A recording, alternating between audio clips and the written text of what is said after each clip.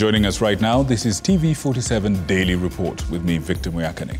Now, in about six months, the new airport terminal will be complete at the Jomo Kenyatta International Airport, which, which the government hopes will push up the number of travelers using the facility.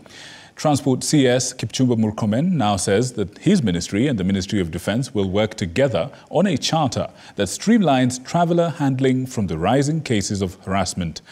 And as Hibak now reports, the setting up of the charter will act as a one-stop shop to track down and curb corruption.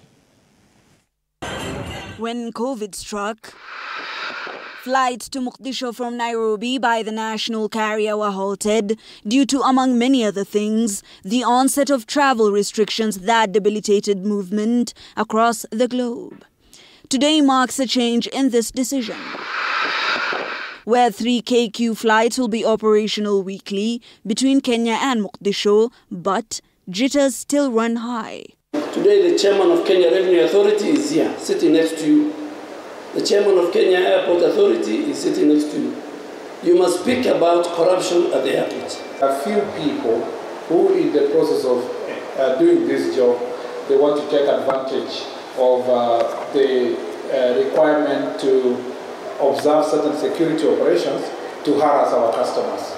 Passenger harassment has been hampering the use of the international airport in the capital, discouraging tourist and cargo movement that could significantly boost the economy.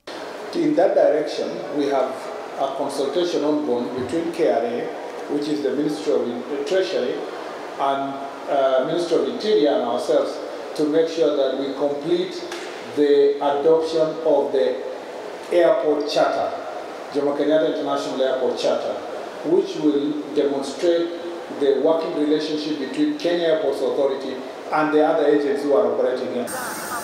Moreover, the number of travelers using JKIA has grown by 9% to 11 million, a number that CS Murkomen believes could be improved even further. Let us seize this moment to deepen our diplomatic relations and cultivate closer cooperation between Kenya and Somalia through initiatives that promote dialogue and mutual understanding we can build a more cohesive and prosperous East Africa community.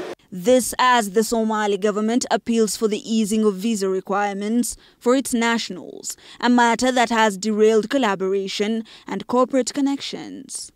However, this vision to be fully realized, it's imperative that both Somalia and Kenya revisit the visa processing and access to the efficient services both at the airport and also visa processing process. And as for the expansion plans for JKIA, in six short months, this terminus is going to be changed into a world-class terminus. This as the Cabinet Secretary for Transport and Roads, Kipchumba Murkomen, says that there is a charter between ministries to ensure that passengers are not harassed while within JKIA. Hibak Said, for TV 47 and